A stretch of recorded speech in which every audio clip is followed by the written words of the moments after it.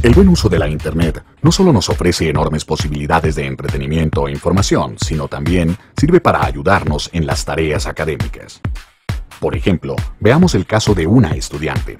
Ella es Alejandra. Su profesora le ha puesto una nueva tarea que requiere de una gran investigación. Investigación en la que Internet le será de gran ayuda. Como sabemos, Alejandra puede usar Google para buscar la información que necesita, pero como es un trabajo para su escuela, probemos con una de las herramientas de este buscador, Google Académico. Al realizar la búsqueda, Alejandra encuentra que hay muchísimos resultados. Claro, si algo tiene Internet es que cualquier persona puede publicar allí lo que quiere. Por eso es importante saber buscar.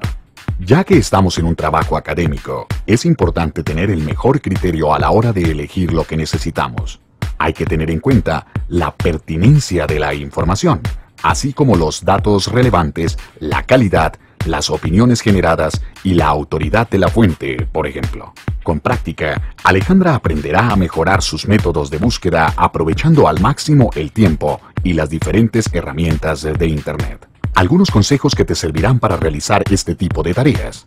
Antes de empezar, define muy bien cuál es tu área. Descarta y evita las distracciones. Compara las fuentes. No te quedes con una sola. Crea un archivo con lo que consideres importante. Algunos datos más. Wikipedia es la enciclopedia virtual más grande del mundo.